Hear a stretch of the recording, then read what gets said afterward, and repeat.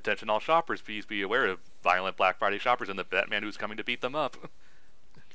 Alfred, I need to get a new TV.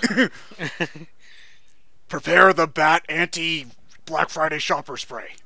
Which Alfred, it's freezing. Uh, it's, it's it's Christmas time. No, I mean the game's literally which freezing. Batman movie was it that was set during Christmas? Returns. Uh, returns. Batman Returns. Ah, yeah. that was the the second Penguin. 80s one, right? Yeah, that was Okay. that was with Penguin Yeah. and Michelle Pfeiffer. The Pfeiffer. second '80s. Yeah, the 1992 That, yeah, film. that Yeah. was the, the one second where 80s Tim one. Burton got so. that was the one where Tim Burton got so Tim Burton that that that like. the- the- Basically, after '89, it was a huge success. Tim Burton said, "You want me back? Let me do whatever the hell I want." And Warner said, "Okay." What have we done? and that, and that scared and Tim Burton doing what he whatever he wanted scared Warner so much they got Joel Schumacher instead. John, everybody knows that the 80s didn't truly end until Smells Like Teen Spirit came out in September 1991. Okay? Schumacher certainly made the Batman movie smell like shoes.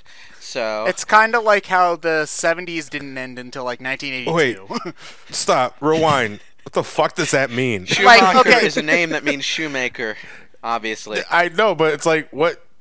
Hold on. Like, what kind of shoe are we talking about here? Shoes It's that Clown have been We on got someone's feet for way too long. Okay, it doesn't matter the specific brand Oh, of shoes. okay. Smell like worn shoes. Yes. Okay, it was like you know because new shoe smells not all right.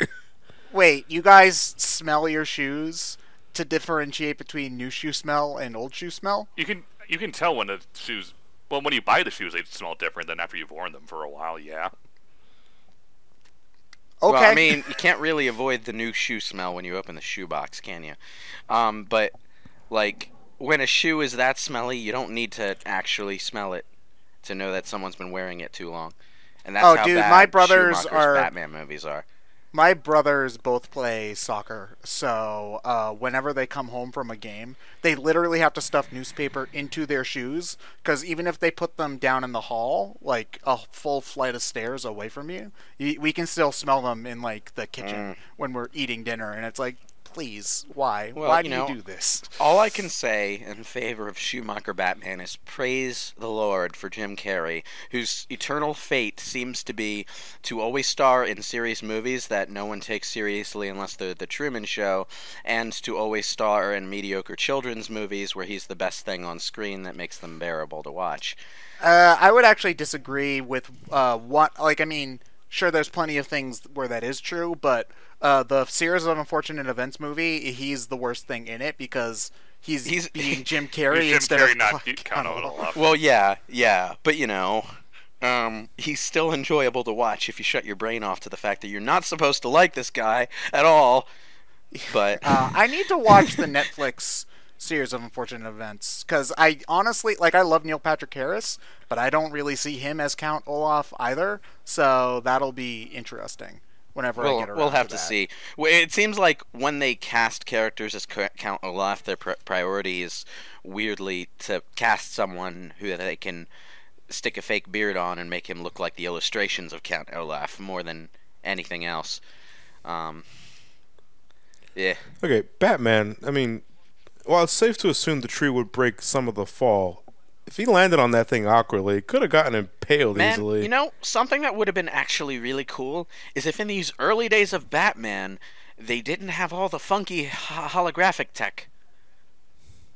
You know, like going. I mean, it's just I mean it's obviously just reused from City, but well, yeah, I know. It's just like you know, when Metal Gear Solid Three happened, they went back and they didn't have the Soliton radar. so, they had. so what do you what, what do you want Batman to like dial the ham radio to, to locate? Alfred, What- give me like the villains. analog bat computer. Yeah, just just show Alfred, hand the bat abacus. Just show the Alfred, turn off the bat phone. I'm trying to get onto the bat internet. yeah, show the passage of time by having him use some outdated tech because it's the past. You know, that's all. Right, right. You know, just like, Alfred, turn off the bat modem. I'm trying to be quiet. Ga- game, games can do games can do interesting things with the difference of technology between um be, between different time periods. Metal Gear Solid 3 solved some pretty obvious design limitations of MGS1 and MGS2 by simply using the prequel excuse to take the Soliton radar out of the equation and make you actually have to be careful. Um, There was this there was this fan idea for like a prequel Pokemon game where you would play as Professor Oak and you would have to like write down the Pokedex entries on paper and there were like less build the balls Pokemon and stuff like that. would have been the- interesting, but also way too tedious for Game Freak to ever consider. Um, I mean, uh, Game Freak has no problems throwing away perfectly good game mechanics to replace them with worse ones because they do that every game. But you know, oh yeah, I, I just of mean it's one of those things that would blatantly not appeal to kill to kids. I, I would say though that to go back to what I was saying about like retrofitting, well, not so much retrofitting, but using older tech in a in a in a prequel game is that Metal Gear Solid at least was clear on the time frame of when Solid One happened, Solid Two, and Solid Three. Or uh, Arkham, the the Arkham series never really gave a clear distinction of what yeah, what what time year is this? It's what present is it? day. Yeah. It's a it's a common comic books problem. Yeah, but what was present day in Arkham Asylum and City? Yeah. Now- I mean, And how far back it's is it's, Origins? it's a similar thing that actually happens with, uh, believe it or not, like soap operas, like General Hospital or Days of Our Lives, where they just everything takes place the present day. So you'll have characters who are like eight years old leave for six months because they went to like boarding school or whatever. Uh, They come back twenty one so that they can have like rom- romance subplots and things like that. you know, like I'm just thinking of Detective Conan now, which started like decades ago. But, 92. But like in universe, it's like been maybe half a year that's passed, um, according to the author, and yet we've gone from like early '90s, '80s tech to having like modern day cell phones um, inside of that space of time and nobody has aged up at all so it's very strange you know uh, but you know uh, At, le- at least Lupin the Third has the excuse that it's perennially seven the seventies. yeah, but but you know, um, the uh, technology differences between time periods can be used for more than just like mechanical things within the game. I remember like really actually liking it when the Resident Evil 2 remake, for example, had all of the computers in the police station be like these super retro 90s Windows 3.11 ass looking uh, relics. And then when you get to the Umbrella Lab, everyone is running Windows 10 inexplicably in the 90s. uh, just to show how futuristic Umbrella is by using modern technology in the past. Which I thought was an excellent joke. that I wonder how many people actually noticed uh, without having to be told by someone else. Enigma. I'm. Uh, you speaking of being ahead of the time, uh, Enigma here is is doing that you know totally futuristic thing of um of having a still image avatar over audio footage of himself uh, that everyone loves to do on YouTube nowadays. I think he realized that. He wasn't satisfied with the default Twitter egg icon, so Well, you know, I- I think he realized he, he gave himself the Twitter icon with the green question mark on it. Ooh. I think he realized in test streams that he couldn't precisely control the shadowing over his face, so he just took a photo of himself, really dramatically shadowed over, and made that his chat avatar. just put it in front of the camera. This footage has been altered in order to hide this person's identity. And they set it on the wrong camera, which reveals everything. Ah, guy, shit. guy, guy walks in. Bill, is that you? Damn it! we forgot, we forgot to turn on the rainbow neon mosaic. but uh, uh, man, you know, I really like Gotham City's design in the Arkham games. I do kind of wish like I, I realize this is totally contradicting my earlier point about the Arkham games having their own like visual style and me not being happy that they drew from other Batman media outside of silly unlockable costumes. But I kind of wish they'd gone a little bit more gothic with it, like the Tim Burton movies did. Maybe not necessarily in that style, but maybe it's because I was introduced to Batman through the animated series and they kind of did that sort of thing too. Well, even if you're just thinking about it in terms of like, you know, uh, the DC universe, like Gotham is supposed to have its own flavor as opposed to something like Metropolis, where Metropolis is very uh, very clearly supposed to be like a shiny, clean New York It's- City. it- yeah, it, it's sleek. a shiny, clean New. York City. Yeah, Ironically, in a universe that has an actual New York City. Um, yeah, uh, but it's like Yeah, Metropolis is New York City with a shiny coat of paint. Gotham is supposed to be grim, dark New York. Yeah, And- well, you know, I always got more of like a Boston, Philadelphia kind of vibe, or like a Jersey City kind of vibe from Gotham, where you know, I No, it's think Gotham it's- is specifically supposed to just be a worse New York. I think Oh, okay, it's never I, I think it's just like uh, like in terms of what you see there. I mean, conceptually, it's worse New York because you know, uh, overburdened police department and really high crime rates, but it's also got elements of like every shitty crime-ridden city in America in it somewhere. so you know, if you look hard enough, you'll find a large slice of Detroit just magically displaced and sent to the East Coast for some reason. and it also has Chicago's train system and yeah, but it's just Yeah. you can you can show that through the architecture too by having like older styled buildings. I mean that's what this. Gotham always does and has really old. Yeah, which is why I still think that, um, despite like actual film quality aside or how well it's aged, I think the Burton verse at least still had some of the most striking set pieces of Gotham Yeah. City, even if it did look like only ten people lived in The- that. Like city. because Nolan, look, it, Nolan Gotham just Nolan looked- was just Chicago and Pittsburgh Yeah, and New yeah, York. pretty The, much. the You know, animated that series that's has that uh, Art Deco. How do you say it? That thing Art- Art Bioshock Deco. did. Okay, It's Art Deco. Yeah, Art Deco. Okay, I was Well, pronouncing it whi- correctly, which and I is didn't which is effectively which is effectively a visual style pertaining to like the 40s. Yeah. So if if they, but you know, it was uh, obviously limited by the animation budget and how uh, static animated backgrounds, uh, static animation backgrounds work.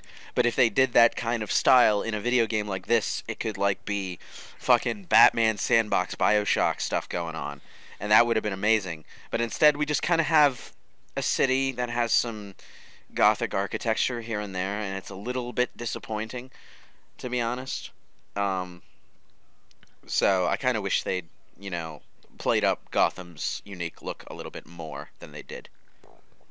That's probably just more to do with an asset thing because everyone has assets for buildings and stuff. Oh, well, yeah, I know. Oh wait, hold on a second, Lewis. You were talking about earlier about your wishing the t- technology look a little older, and uh, Batman just picked up an encrypted data file that's the size of a Trapper Keeper. Oh, so that's something. there you go. That is something, at least.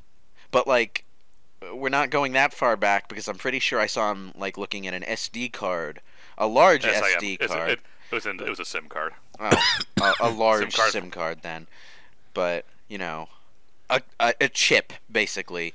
So we're not like we're not like in we're not doing what like some of the really old Batman stuff did and have it have him using computers that had like large cassette tape reels going on. Yeah, but I mean, like, if this is trying to be like the past, where, okay, let's assume that this is ten years before Arkham City. Okay, Arkham City, like, okay, takes place in like what 2010 ish. So, would we really want like Batman finding like zip drives on the ground and stuff like that? zip drives. Yeah, like you know. I forgot those existed. I'm sorry. I've I only ever too. seen one. I've only ever seen one once in my life at a grandparent's house. So, um, okay. Uh, I mean, honestly, actually, I would want to see Batman using like a using his Bat zip drive to store his 30 megabytes of data. You know, ooh, fancy. Uh, Black Mask has sent another extortion threat. Uh, allow four to six weeks for delivery. Batman, you have a collect call from Black Mask. Would you like to accept the charges? No. no. why do I have to accept the charges? He's making the call. that bastard. this is his plan. He's gonna just keep collect calling. me. Hello, Batman. And then It's run my bank account dry. Yeah, no, it's Zsasz. Oh, uh, dastardly serial killers stealing each other's collect call accounts. There's just a Victor five gets on the phone. and then the end of the movie, the plot twist is is that all of the letters of his name are an anagram of scam likely. Yeah, the the Penguin gets uh, brought down because he did a he did a collect call to the Joker as a joke, and then he left it for three hundred dollars and never paid the fine. such an evil man. Oh man, it's good that even in the whenever this takes place, that people still run by the kung fu principle of yeah, One at a we're, time. we're not all gonna just gang up on him.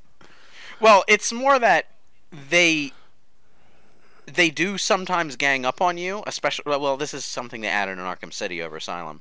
Um, you can do counterattacks on more than one move at a time. I don't know if that mechanic is an origin though. Um, Uh, you can do three in Knight. I know that. yeah, yeah. much. Like they'll they'll all attack in like up to two or three at a time, and you hit the counterattack button one, two, three times, and you'll catch all of them. The And it- counterattack is when the spider sense goes off, right? Yes. yeah. Okay. Yeah. Although, yeah, there are difficulty modes where the spider sense doesn't appear, so you have to actually watch the enemy's movements and make sure you're keeping an eye on which enemy is attacking you with what method too, because you can't always counterattack everything. You have to dodge or use your cape. It- Is it there like a gets- different counterattack if somebody has a knife versus just using their? I uh, think Uh, so. Yeah. yes. The, the knife, I think you have to For use your blades, you have to. Now for uh, knives, you have to. Ba- you have to dodge while holding back, Oh, so right. you get out of the way. For shields, you have to. Yeah, use a- the cape. and with the counterattack emblems on, this is signified by different colors, like the blue Okay. icons. It's just are a things. basic counter. Yeah, blue you ca- blue's a basic counter. Yellow I think is the knife. Red is you can't block You can't this. You can't counter it. So get the fuck out of the out. way or stun them with your cape or something. Um, yeah.